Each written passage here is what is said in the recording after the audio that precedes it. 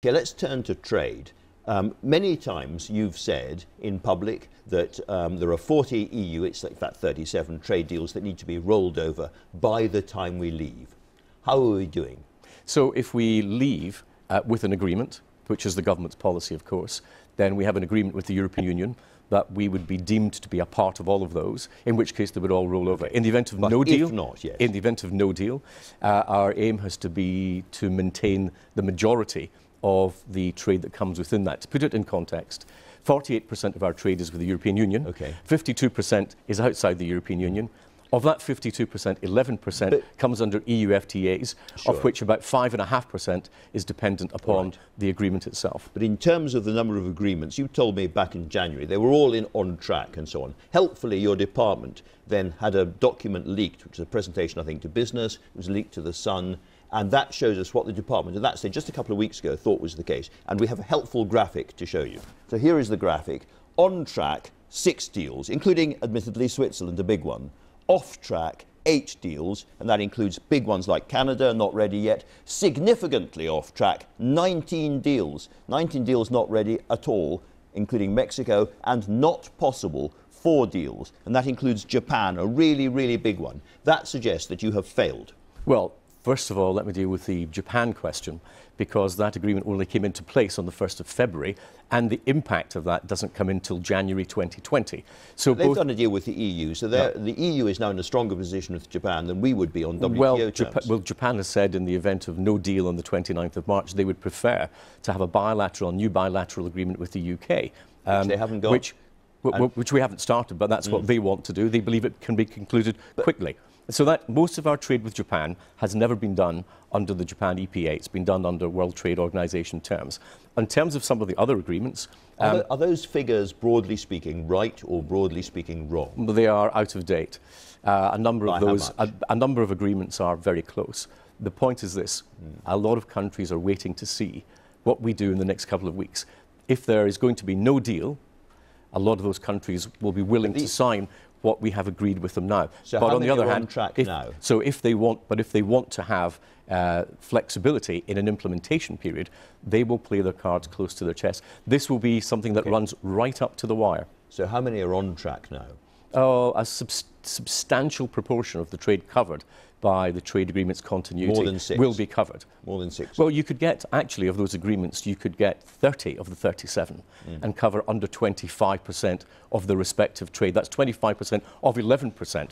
Uh, it, it just seems to me if this is anything like accurate, it may be out of date, but if it's anything like accurate, then you are way behind on what you promised. You said we are going to replicate the 40 EU trade, free trade agreements that exist before we leave the European Union. That's only a couple of weeks away now. So we've got no disruption of trade. You're not getting there, are you? Well, You're that's, that's the point, is that we want to maximise the amount of that bit of our trade that's covered. Remember, um, of, of that, we're talking about probably about 5.5% of Britain's total trade. Most of our trade being done on WTO terms, for example, with the US, which, when you consider all of those agreements together, um, is totally 11%, of about half of which is done tariff-free, so it doesn't affect Okay. it. And the US is about 20% of our trade. Just in terms of individual deals, how many are now on track? Um, that is, is You something. must I'm- know the answer to yeah, that. but I. But we have what we are doing is is completely commercially very sensitive, and we will keep on the case of every one of those till Okay. the very last minute. And a lot of countries will not make up their minds to have a final agreement until we get to those last days before Brexit. I suspect the answer is seven, but I'm, I also need to ask you how many are off track? Well, again, it's we are working with all of those for as long as possible. The biggest ones are the ones that we've got uh, the greatest agreement on. A number of those that were on your chart as being significantly off track, we are very close to concluding, for example. All right, well, let's turn to the big prize in all of this, which is a really big trade deal with the United States. Now, this week, the US ambassador in London gave some pretty severe markers about what they would expect in return for that. And he described European agriculture as a kind of museum agriculture, very traditional, very behind the scenes. American agriculture as being much more scientifically effective and better for the environment. Do you agree with him by and large about that? No, the New Zealand special advisor, for example, uh, was just saying yesterday that he doesn't regard Britain as being behind the curve on these uh, farming methods and that our farming is efficient and effective. Do you think that we will eventually have to accept things like hormone treated beef and chlorinated, chlorine washed chicken as the price of doing a big comprehensive trade deal with the US, which we as a country will need? Well, we will want most of our trade, as I said, the US is our biggest trading partner mm. at the moment, is done under WTO terms. Are there things that we could improve? Yes, there are some things in goods trade. There's a lot in services trade. Um, will we accept things that we believe are against the interests of our consumers or our producers? No, we won't. It's a negotiation. But we now know what they want, and they've been very, very clear about it. Can I ask you, have you talked to any of well, them about hormone treated beef, for instance, arriving in British supermarkets? Well, we don't, we're not at the beginning of those discussions yet. We can't have those negotiations until we leave the European Union. Um, have we made clear our general stance? Yes, we have.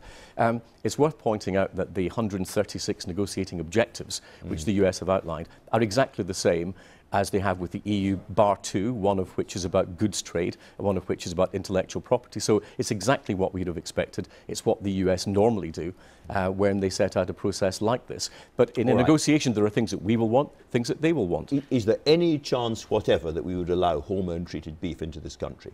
Well, if you look at what happened with the EU discussion with the US, uh, the discussion there came down to the US saying, well, if you won't accept our hormone treated beef, you'll have to accept more of our non hormone treated beef as part of the negotiation. Okay. That's how those negotiations work. Agriculture is very often one of the, the sticking points.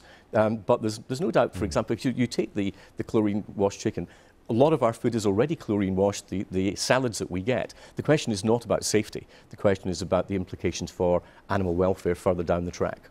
All right, let me ask you finally, if you get the deal you want with the United States, if you do really good free trade deals with Japan and India and the other big economies around the world, if you're highly successful, what will that do to our overall economic growth?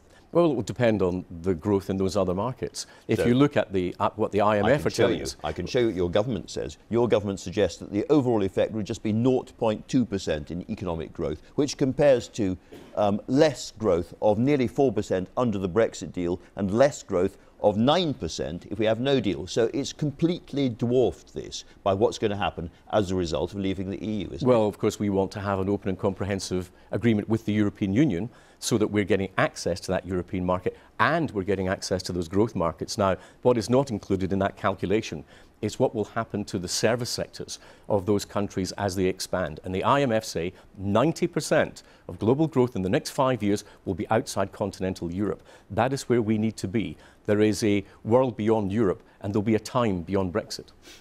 There indeed will be. I hope so. Liam Fox, thank you very much indeed.